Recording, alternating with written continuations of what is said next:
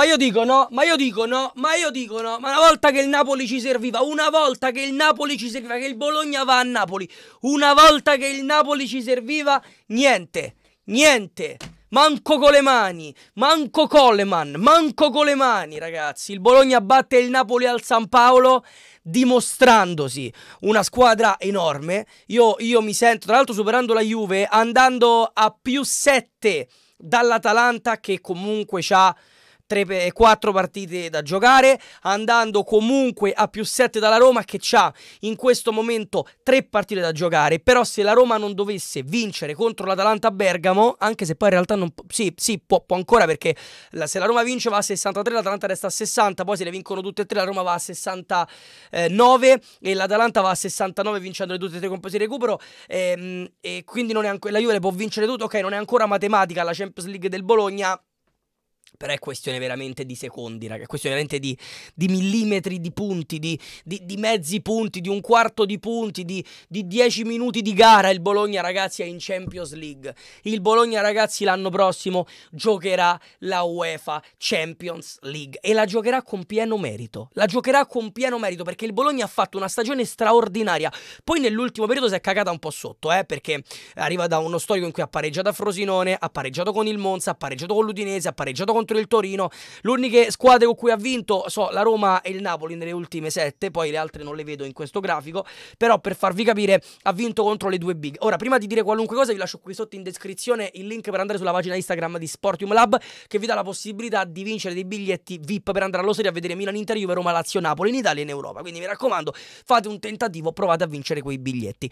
Vi dicevo il Bologna strameritato nel finale si è un po' cagato addosso perché è chiaro quando vedi l'obiettivo c'hai paura di perderlo. E quindi piuttosto ti tieni lo 0-0 e punticino dopo punticino dopo punticino dopo punticino ti ci avvicini. Però il Bologna ha fatto un campionato enorme e si merita dal mio punto di vista molto di più il, um, il, um, il terzo posto rispetto che la Juventus. Poi la Juventus giocherà comunque contro la Salernitana se vince la risupera la, la rizzompa rizzompa il, il Bologna. E lì poi è un discorso di meriti e va bene così perché arriva sopra se lo merita. Però che grande stagione, che grandiosa stagione che sta facendo il Bologna. Grandio- esatto, grandiosa, grandiosa, grandiosa. Non è la stessa cosa che posso dire del Napoli, ma per niente proprio, ragazzi, non è per niente la stessa cosa.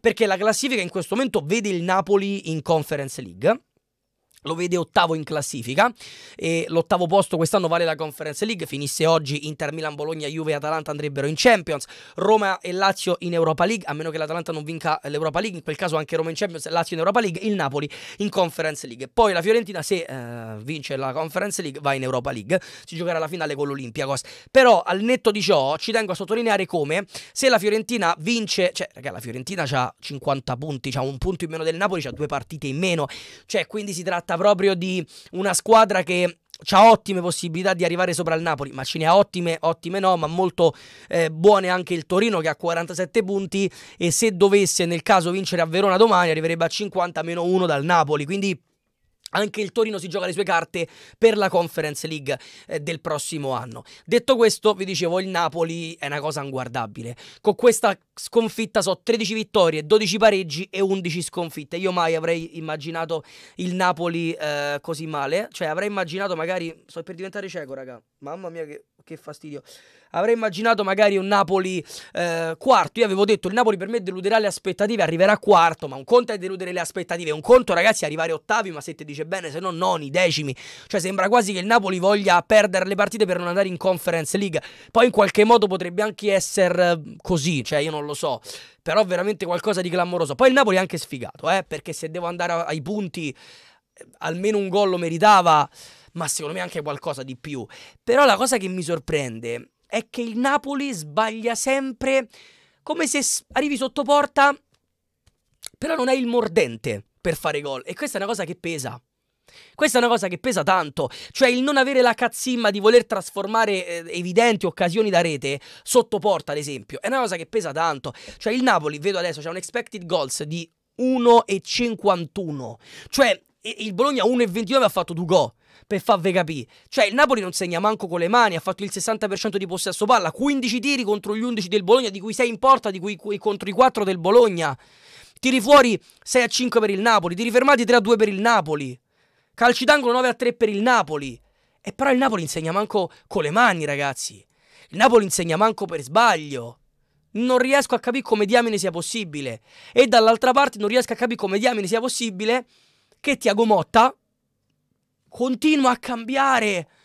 Ma proprio con una tranquillità di quelle, ragazzi, inaudite. Oggi, oggi dice no, oggi dice Skoruschi non gioca. Ma così, eh? Non gioca. C'era, c'erano tutti, eh, mancavano, mancavano, solamente eh, Ferguson e Somaoro, ma sono rotti da tanto tempo e va bene così. Dice, oggi, oggi non gioca Skorupski, mettiamo Ravaglia. Eh, oggi, oggi evitiamo Orsolini fa panchina, gioca Odgar. Ma perché? Se il Megar fa panchina, gioca Andoie. Ma perché? E, ehm, faccio, non facciamo giocare Fabian oggi, facciamo giocare Urbanski. Ma perché? E io sono lì che mi domando e dico: Ma come diamine sia possibile? Bevuche ma non gioca oggi. Come non gioca? Bevuche ma oggi non gioca. Va bene così. E poi? Poi il Bologna vince. Io non riesco a capire come diamine sia possibile che Tiago Motta li cambia, li sposta, li stravolge, fa giocare chi fa. Ripeto, con la Roma, con la Roma non giocano Orsolini e non, gio- non gioca né Orsolini e né. Ehm, e né, e né Selmecher. No, Selmecher gioca, non gioca Orsolini, Selmecher ci fa un culo così. Non gioca Orsolini, gioca Ella Zuzzi. Ella Zuzzi. Ed Ella Zuzzi fa gol rovesciata. Oggi non gioca Orsolini, non gioca Selmaker, giocano Ndoye e Odgar. E Ndoye segna.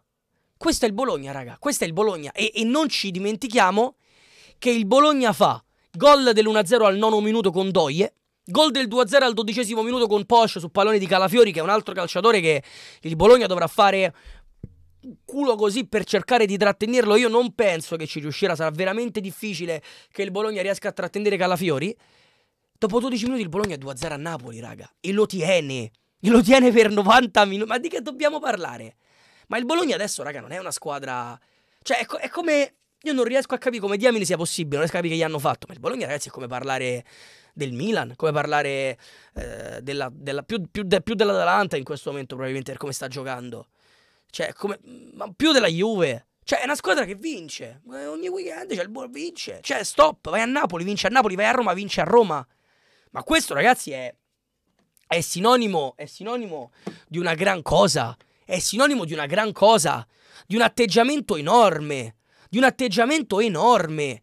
56 esimo dice, vabbè, buttiamo dentro il Sunis e perché ci fa piacere. Così. D'amblè.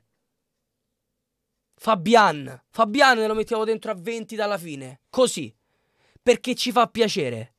Raga, ma, ma, ma è una cosa importante. Zirze non segna, e sti cavoli. Tanto segnano tutti gli altri. Cioè, ma voi vi rendete conto di cosa sta facendo il Bologna? Perché secondo me non ce ne rendiamo conto. Il Bologna l'anno prossimo giocherà la UEFA Champions League. Il Bologna il prossimo anno giocherà la UEFA Champions League, raga. Giocherà la UEFA Champions League. Pazzesco. Cioè, vedremo forse Bologna-Barcellona. Bologna-Bayern Monaco.